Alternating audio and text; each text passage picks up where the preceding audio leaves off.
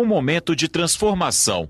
Em 1983, durante a ditadura militar, manifestações populares em todo o país exigiam voto direto para presidente. Trinta anos depois, as marcas daquela época permanecem na memória de muitos brasileiros. Foi um período muito lindo, muito bonito. Essa ideia de buscar a liberdade, conquistar a democracia, que só é plena se o voto for empoderado, né? Mas foi um período muito difícil também. Não podíamos andar de camisa amarela aqui em Brasília. Eu estava no palanque, participando da campanha, organizando o primeiro comício, que foi em Curitiba, no dia 12 de janeiro, a pedido do presidente Ulisses Guimarães. Estive presente em, em grandes concentrações populares. Foi o momento mais fascinante da história contemporânea da política brasileira. No início dos anos 80, a ditadura militar estava enfraquecida. A economia brasileira patinava e o país vivia grandes greves.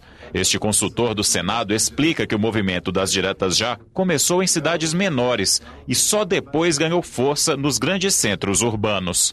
Aí sim, não é, o movimento toma corpo e aparece precisamente com o maior movimento de massas depois de 1964 de contestação do regime em cima de um, uma, um ponto, né, que é esse da eleição direta para presidente, que tinha um caráter simbólico muito forte, né, que dizia respeito exatamente ao imediato detentor do poder.